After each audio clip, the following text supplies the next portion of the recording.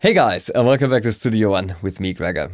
As you might know, pattern are a topic that's near and dear to my heart in Studio One because I love electronic music of all kinds, and uh, particularly then, it's very useful to have these amazing features that pattern can provide you with. And I've covered that in several videos already. I'm to link you a few in the video here. But one feature that I want to focus on specifically today is how you can use pattern even if you don't end up using them. What? Let's find out. So I prepared a little uh, acid techno demo here. Uh, let's have a listen.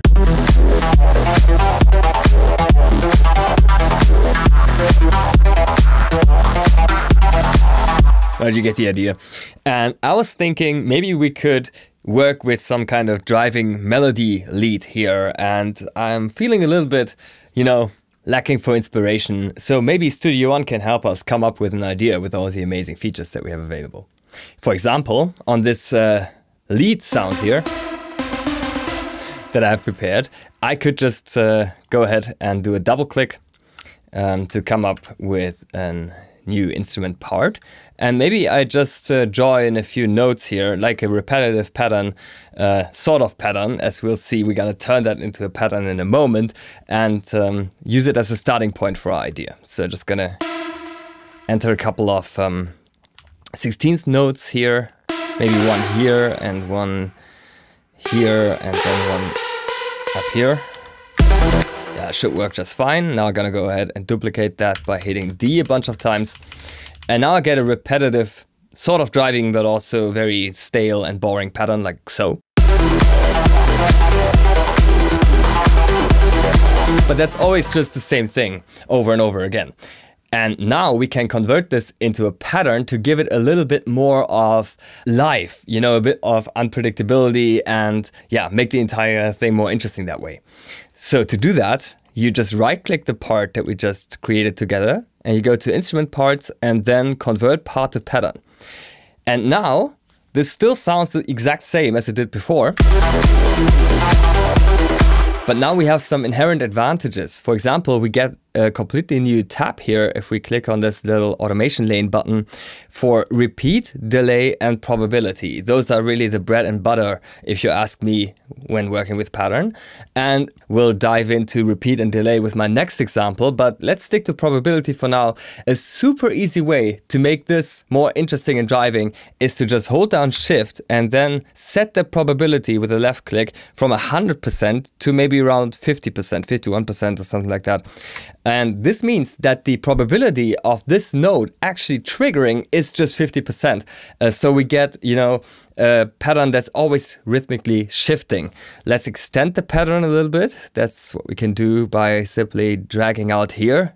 Fruity Loops users and people from other DAWs that have pattern might be well familiar with this. This is because the pattern is looping within itself, so it repeats over and over. This is not something that would happen when you do this with a regular MIDI part.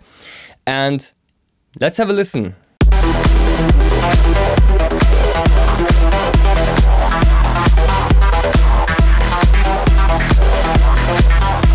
So much more interesting, right?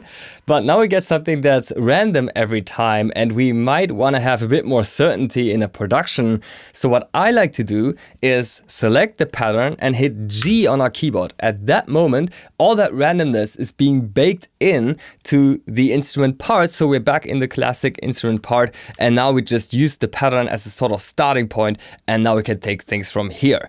Search for one of the randomness results that we like the best, and then edit that a little bit down. It's just a great starting point whenever you feel stuck.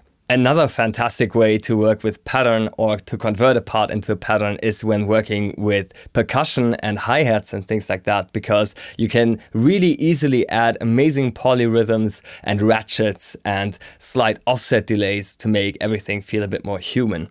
Let me show you how that's done. So we double click once again here to add an Impact XT part in this case. And here I have a hi-hat sample. It's just a regular hi-hat sample that I've prepared. I hold down Command on a Mac or Control on Windows, and I'm just gonna drag out from left to right. And this will result in a 16 uh, note hi-hat pattern because my grid is currently set to 16th and uh, would sound like this.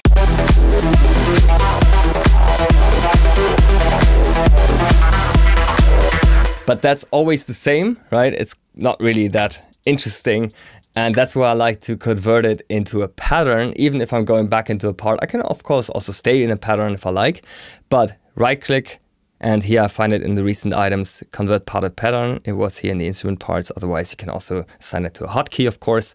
And now we get some amazing possibilities. For example, we can set repeats. Whenever I set a repeat, that step will re-trigger with the current grid setting. So if I have a 16th resolution here, then this step will play two notes in the span of one 16th note because it's retriggering once. So that would be two 32 notes. If I do two repeats, then it would play two additional times within a 16th note and so forth. So this is really nice to get some of these trappy kind of hi-hats that you also hear in these rap and hip hop productions a lot. Like that, right? And that can be a little bit annoying to draw these in um, in a classic instrument part. And then what I like to do is just reduce the step length of this hi-hat to maybe just eight steps or something like that. So I don't have to, you know, draw in all these repeats over and over again. And because this is a pattern, this is just repeating within itself over and over again. You can use the same technique uh, for some awesome polyrhythms. If you had another element, you could have that repeat maybe just five times and um, then they always play at a different point and it just adds a ton of groove and a sort of randomness that's a little bit more predictable and a bit more structured, so to say.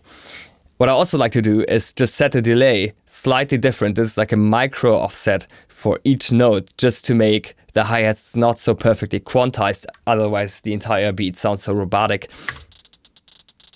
Sounds like just more human that way. And uh, once I'm done, I can, of course, once again, convert back into a classic MIDI part if I prefer to work in this view. And uh, so we really just took advantage of the pattern briefly.